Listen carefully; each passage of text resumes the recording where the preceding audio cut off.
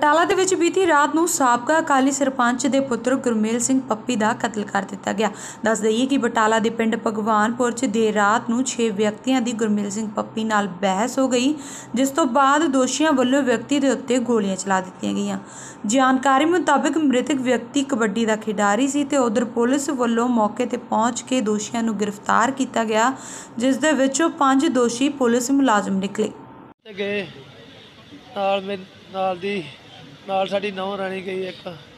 ਗਰਮੇਸ਼ ਚਲਾਉਣ ਡਿਆ ਗੱਡੀ ਤੇ। ਇਹ ਉੱਤਰ ਕੇ ਆਏ ਆ। ਉੱਤਰ ਕੇ ਪਤਾ ਨਹੀਂ ਕੀ ਰੰਗ ਦੇ ਨਾਲ ਪੁਜੀ ਕੌੜੀ ਰੱਖੀ।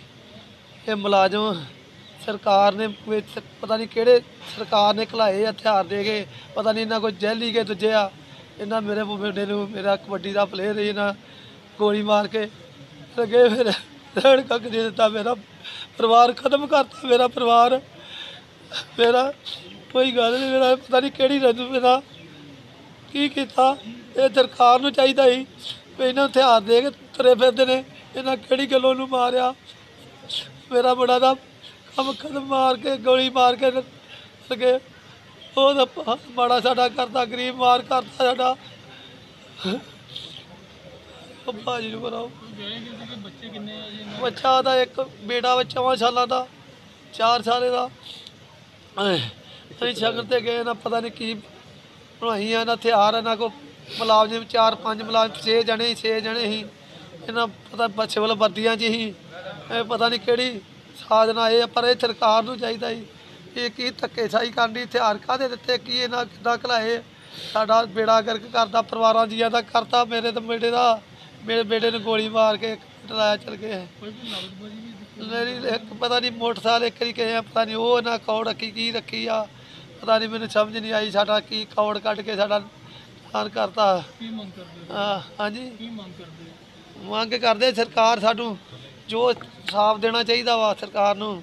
ਸਰਕਾਰ ਨੇ ਸਾਡਾ ਇਹ ਜੈਲੀ ਪਿਸਤੌਲ ਪਤਾ ਨਹੀਂ ਕਿਹੜੇ ਲਈ ਫਿਰਦੇ ਆ ਇਹਨਾਂ ਕਿੱਧਰ ਆਏ ਆ ਇਹਨਾਂ ਨੂੰ ਪਤਾ ਸਾਰਾ ਹੋਣਾ ਚਾਹੀਦਾ। ਭਾਜੀ ਨੂੰ ਕਰੋ ਮੇਰਾ ਨਹੀਂ ਜੋ ਬੋਲਿਆ ਜਾਂਦਾ ਮੇਰੇ ਭਾਜੀ ਜੀ ਮੇਰਾ ਨਾਮ ਜੀ ਤੇਜਵੀਰ ਸਿੰਘ ਹੈ ਮੈਂ ਸਰਪੰਚ ਹਾਂ ਪਿੰਡ ਕੋਕਰੀ ਸੁਰਤਮੱਲੀ ਦਾ।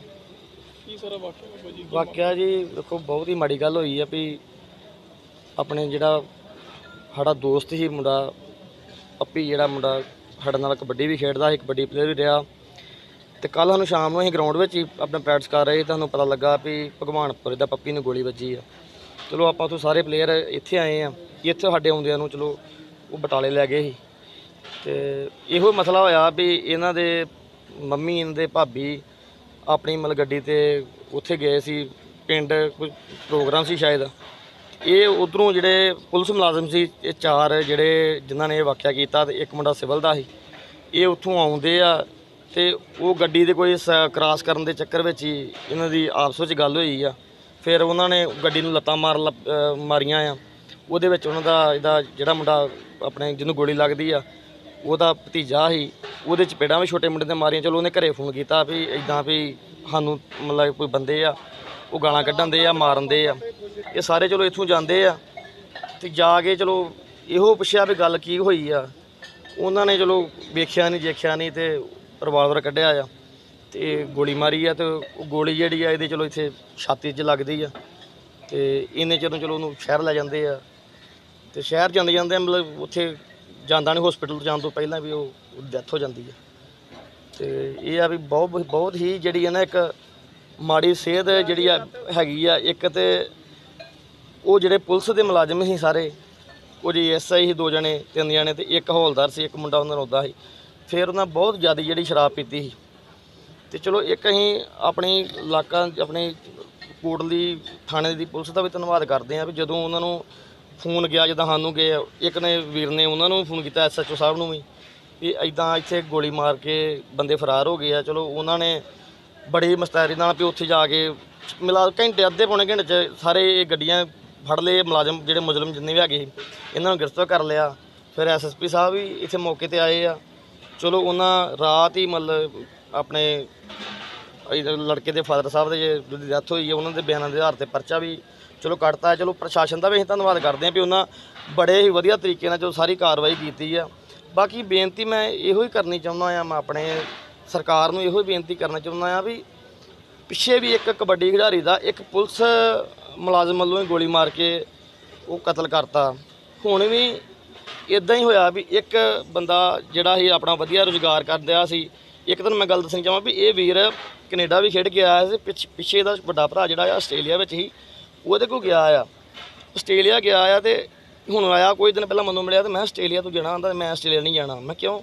ਆਂਦਾ ਯਾਰ ਉੱਥੇ ਕੰਮ ਕਰਨ ਨੂੰ ਵਧੀਆ ਆ ਵੀ ਅਸੀਂ ਆਪਣੇ ਪੰਜਾਬ 'ਚ ਕੰਮ ਕਰਾਣਾ। ਮੈਂ ਉੱਥੇ ਵੀ ਦਿਹਾੜੀ ਲਾਉਣੀ ਹੈ ਕਹਿੰਦਾ ਇੱਥੇ ਇਹਦਾ ਡੇਰੀ ਫਾਰਮ ਦਾ ਕੰਮ ਹੀ ਬਹੁਤ ਵਧੀਆ ਕੰਮ ਹੀ ਤੇ ਇਹਦੀ ਵੇਖੋ ਸੋਚ ਇੰਨੀ ਵਧੀਆ ਵੀ ਪੰਜਾਬ ਵਿੱਚ ਰਹਿ ਕੇ ਕੰਮ ਕਰਦਾ ਸੀ ਤੇ ਵਧੀਆ ਮਿਹਨਤ ਕਰਦਾ ਸੀ, ਆਪਣੀ ਕਮਾਈ ਕਰਦਾ ਸੀ, ਪਰ ਇੱਕ ਗੰਦੇ ਮਤਲਬ ਲੋਕਾਂ ਕਰਕੇ ਜਾਂ ਮਾੜੇ ਬੰਦਿਆਂ ਕਰਕੇ ਉਹ ਅੱਜ ਮਤਲਬ ਵੀ ਜਿਹੜਾ ਵੀ ਉਹਦੀ ਉਹ ਗੋਲੀ ਲ- ਉਹਨੂੰ ਵੱਜ ਕੇ ਤੇ ਉਹਦੀ ਮੌਤ ਹੋ ਗਈ ਆ। ਹੁਣ ਇਹੋ ਸਰਕਾਰਾਂ ਅੱਗੇ ਬੇਨਤੀ ਕਰਦੇ ਵੀ ਜਿਹੜਾ ਇੱਕ ਸਰਕਾਰੀ ਮੁਲਾਜ਼ਮ ਆ, ਇੱਕ ਪੁਲਿਸ ਦਾ ਅਧਿਕਾਰੀ ਹੋਏ, ਜਿਹਨੂੰ ਵੀ ਹਰ ਇੱਕ ਕਾਨੂੰਨ ਦਾ, ਹਰ ਇੱਕ ਦਾ ਪਤਾ ਆ ਉਹ ਬੰਦਾ ਸ਼ਰਾਬ ਦੇ ਨਸ਼ੇ ਵਿੱਚ ਹੋ ਕੇ ਤੇ ਉਹ ਇੱਕ ਆਮ ਬੰਦੇ ਨੂੰ ਪਿੰਡ ਵਿੱਚ ਆਣ ਕੇ ਗੋਲੀ ਮਾਰ ਦਿੰਦਾ ਆ। ਸਿਰਫ ਗਲਤੀ ਤੇ ਇਹਨਾਂ ਦੀ ਇਹ ਹੋ ਗਈ ਨਾ, ਇਹ ਸਾਰਾ ਪਿੰਡ ਹੀ ਤੇ ਇਹ ਚਾਹੁੰਦੇ, ਪਿੰਡ ਵਾਲੇ ਚਾਹੁੰਦੇ ਤੇ ਸਾਰਿਆਂ ਨੂੰ ਉਹਦੇ ਕੁੱਟ ਮਾਰ ਵੀ ਸਕਦੇ, ਪਰ ਇਹਨਾਂ ਉੱਥੇ ਹੱਥ ਹੀ ਜੋੜਿਆ ਵੀ ਤੁਸੀਂ ਯਾਰ ਆਪਣੇ ਘਰ ਜਾਓ। ਸਿਰਫ ਇਹ ਹੱਥ ਜੋੜਨ ਦੇ ਵਿੱਚ ਵਿੱਚ ਉਹ ਬੰਦਿਆਂ ਨੇ ਵੇਖਿਆ ਨਹੀਂ ਦੇਖਿਆ ਨਹੀਂ ਤੇ ਉਹ ਗੋਲੀ ਕੱਢ ਕੇ ਮਾਰਤੀ। ਫਿਰ ਪੰਜ ਸੱਤ ਫੈਰ ਉਹਨਾਂ ਹੋਰ ਵੀ ਕੀਤੇ ਵੀ ਚਲੋ ਵਧੀਆ ਵੀ ਜਿਹੜੇ ਵੀ ਉਹ ਗੋਲੀਆਂ ਹੋਰ ਕਿਸੇ ਦੇ ਨਹੀਂ ਲੱਗੀਆਂ। ਫਿਰ ਉਹਨਾਂ ਗੱਡੀਆਂ ਭਜਾਈਆਂ, ਚਲੋ ਬਾਅਦ ਚ ਪਿੰਡ ਵਾਲਿਆਂ ਉਹ ਗੱਡੀਆਂ ਕਾਬੂ ਕੀਤੀਆਂ। ਚਲੋ ਕੁਝ ਪੁਲਿਸ ਦਾ ਵੀ ਧ- ਧੰਨਵਾਦ ਕਰਦਾ, ਐਸਐਚਓ ਸਾਹਿਬ ਦਾ ਵੀ, ਐਸਐਸਪੀ ਸਾਹਿਬ ਦਾ ਵੀ ਧੰਨਵਾਦ ਕਰਦਾ ਜਿਨ੍ਹਾਂ ਰਾਤ ਹੀ ਆਣ ਕੇ ਇੱਥੇ ਮਿਲਾ ਕੇ ਪੂਰੀ ਕਾਰਵਾਈ ਕਰਾਈ। ਬਾਕੀ ਮੈਂ ਇਹੋ ਪ੍ਰਸ਼ਾਸਨ ਨੂੰ ਮਤਲਬ ਬੇਨਤੀ ਕਰਨਾ ਚਾਹੁੰਦਾ ਆ ਸਾਡੇ ਇੱਥੇ ਆਪਣੇ ਮੰਤਰੀ ਸਾਹਿਬ ਰੰਧਾਵਾ ਸਾਹਿਬ ਨੂੰ ਮੈਂ ਇਹੋ ਬੇਨਤੀ ਕਰਨੀ ਚਾਹੁੰਦਾ ਵੀ ਇੱਕ ਇਦਾਂ ਦਾ ਕਾਨੂੰਨ ਕੋਈ ਬਣੇ ਵੀ ਇੱਕ ਸਰਕਾਰੀ ਬੰਦਾ ਜਿਹੜਾ ਜੇ ਕਿਸੇ ਤੇ ਮਤਲਬ ਗਲਤ ਆਪਣੀ ਡਿਊਟੀ ਦਾ ਜਾਂ ਆਪਣੇ ਹਥਿਆਰ ਦਾ ਉਹ ਇਸਤੇਮਾਲ ਕਰਦਾ ਜਿਹਦੇ ਨਾਲ ਕਿਸੇ ਦੀ ਮੌਤ ਹੋ ਜਾਂਦੀ ਆ। ਜਾਂ ਕਿਸੇ ਦਾ ਨੁਕਸਾਨ ਹੋ ਜਾਂਦਾ ਤਾਂ ਇਹੋ ਜਿਹਾ ਕਾਨੂੰਨ ਬਣੇ ਵੀ ਉਹਨੂੰ ਇੰਨੀ ਸਖਤ ਸਜ਼ਾ ਮਿਲੇ ਵੀ ਕੋਈ ਆਉਣ ਵਾਲੇ ਸਮੇਂ ਵਿੱਚ ਇਦਾਂ ਮਤਲਬ ਸੋਚ ਨਾ ਸਕੇ ਵੀ ਮੈਂ ਸਰਕਾਰੀ ਬੰਦਾ ਤੇ ਮੈਂ ਇਦਾਂ ਕਰਨਾ ਤੇ ਜੇ ਇਦਾਂ ਹੁੰਦਾ ਗਿਆ ਨਾ, ਤੇ ਜੇ ਇਹ ਇਹਨੂੰ ਮਤਲਬ ਸਰਕਾਰ ਜਾਂ ਅਧਿਕਾਰੀ ਇਹਨੂੰ ਨੱਥ ਨਹੀਂ ਪਾਉਂਦੇ, ਕੋਈ ਸਜ਼ਾ ਨਹੀਂ ਮਿਲਦੀ, ਤੇ ਫਿਰ ਵੇਖੋ ਹਰ ਇੱਕ ਦਾ ਮਤਲਬ ਮਨ ਜਿਹੜਾ ਇੱਥੋਂ ਪੰਜਾਬ 'ਚੋਂ ਚੁੱਕਿਆ ਜਾਣਾ, ਫਿਰ ਤਾਂ ਆਲਰੇਡੀ ਬੱਚੇ ਬਾਹਰ ਜਾਂਦੇ ਆ ਵੀ ਅਸੀਂ ਬਾਹਰ ਜਾ ਕੇ ਕੰਮ ਕਰਨਾ। ਇਹ ਬੰਦੇ ਦੀ ਸੋਚ ਵੇਖ ਲਓ ਵੀ ਕਹਿੰਦਾ ਮੈਂ ਆਸਟ੍ਰੇਲੀਆ ਨਹੀਂ ਅੱਜ ਤੋਂ ਬਾਅਦ ਜਾਣਾ। 10 ਸਾਲ ਦਾ ਵੀਜ਼ਾ ਲੱਗਾ ਵੀ ਮੈਂ ਇੱਥੇ ਰਹਿ ਕੇ ਕੰਮ ਕਰਨਾ, ਵੀ ਮੈਨੂੰ ਇੱਥੇ ਕੰਮ ਰਹਿਣਾ ਮੈਨੂੰ ਵਧੀਆ ਲੱਗਦਾ। ਹੈ ਅੱਜ ਵੇਖ ਲਓ ਤੁਹਾਡੇ ਸਾਹਮਣੇ ਆ ਵੀ ਅਸੀਂ ਇਹੋ ਮੰਗ ਕਰਦੇ ਹਾਂ ਦੀ ਗੰਭੀਰਤਾ ਦੇ ਨਾਲ ਪੜਤਾਲ ਹੋਣੀ ਚਾਹੀਦੀ ਆ। ਔਰ ਇਸ ਗੁਰਮੇਲ ਸਿੰਘ ਨੇ ਜਿਹੜੇ ਕਿ ਇਹਨਾਂ ਦੇ ਸ਼ਰੀਕੇ ਦੇ ਵਿੱਚ ਇੱਕ ਔਰਤ ਸੀ, ਉਹਦੇ ਨਾਲ ਇਹ ਪੰਜਾਬ ਪੁਲਿਸ ਦੇ ਮੁਲਾਜ਼ਮਾਂ ਨੇ ਕੁਝ ਗਲਤ ਹਰਕਤਾਂ, ਗਲਤ ਰਿਮਾਰਕਸ ਦਿੱਤੇ ਨੇ। ਜਿਹਦੀ ਵਜੋਂ ਉਹਨੇ ਇਹਨਾਂ ਨੂੰ ਇਸ ਗੱਲ ਪੁੱਛਿਆ ਵੀ ਤੁਸੀਂ ਇਹ ਕੰਮ ਕਿਉਂ ਕੀਤਾ? ਤੇ ਨਤੀਜਨ ਕੀ ਗੱਲ ਹੋਈ ਆ ਕਿ ਇਹਨਾਂ ਨੇ ਉਹਦੇ ਤੇ ਇਹ ਗੋਲੀ ਚਲਾ ਦਿੱਤੀ ਹੈ ਉਹਨੂੰ ਇਸ ਗੱਲ ਦਾ ਵਿਚਾਰਨ ਦਾ ਮੌਕਾ ਵੀ ਨਹੀਂ ਦਿੱਤਾ।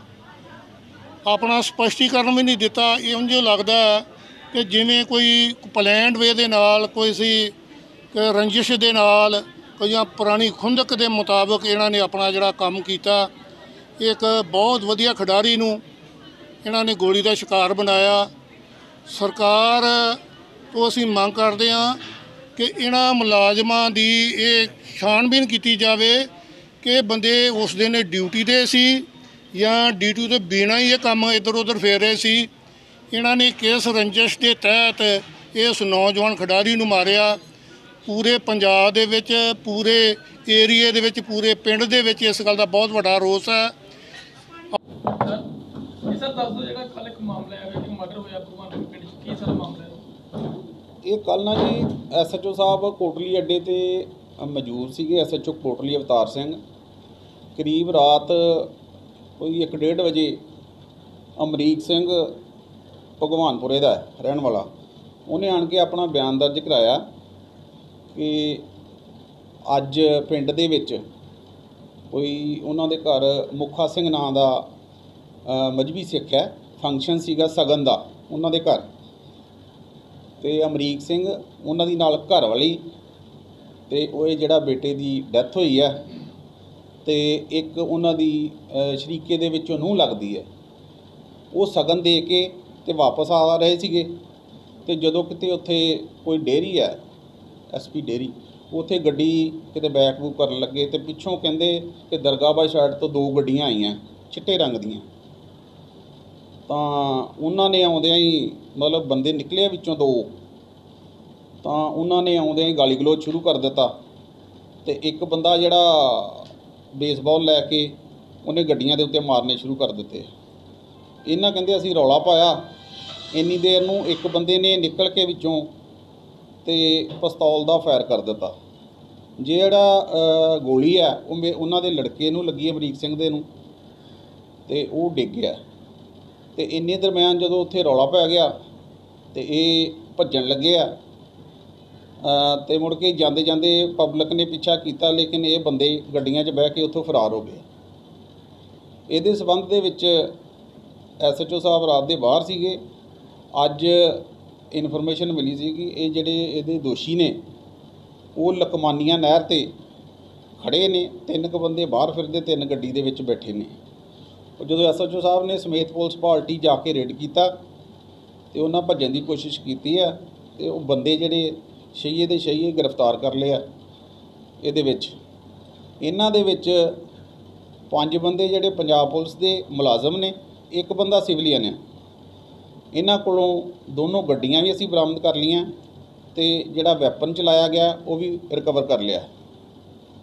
ਸਰ ਕੀ ਐਫਆਈਆਰ ਦਰਜ ਕੀਤੀ ਹੈ? ਇਹਦੇ ਵਿੱਚ ਐਫ ਆਈ ਆਰ ਨੰਬਰ 78 ਮਿਤੀ 31/8/2020 ਜਿਹੜਾ ਜੁਰਮ ਹੈ 302 148 149 25 27 54 ਆਰਮਜ਼ ਐਕਟ ਪੀਐਸ ਕੋਟਲੀ ਦਰਜ ਕੀਤਾ ਗਿਆ। ਕੀ ਕਾਰਵਾਈ ਕੀਤੀ ਜਾ ਰਹੀ ਸਰ? ਆਉਣ ਲਈ ਇਹਦੇ 'ਚ ਤਫਤੀਸ਼ ਜਾਰੀ ਹੈ ਇਹਨਾਂ ਸੰਬੰਧੀ ਅਸੀਂ ਜਿਹੜੇ ਮੁਲਾਜ਼ਮ ਨੇ ਪੰਜਾਬ ਪੁਲਿਸ ਦੇ ਉੱਚ ਅਫਸਰਾਂ ਨੂੰ ਇਹਨਾਂ ਸੰਬੰਧੀ ਲਿਖ ਕੇ ਭੇਜ ਦਿੱਤਾ ਤੇ ਜੋ ਵੀ ਹੋਰ ਬੰਦੀ ਤਫਤੀਸ਼ ਜਿਹੜੀ ਚੱਲ ਰਹੀ ਹੈ ਜੋ ਵੀ ਅੱਗੇ ਗੱਲ ਸਾਹਮਣੇ ਆਏਗੀ ਉਹ ਕੀਤੀ ਜਾਏਗੀ our YouTube channel News DNN by clicking the bell icon. Don't forget to like, comment, and share.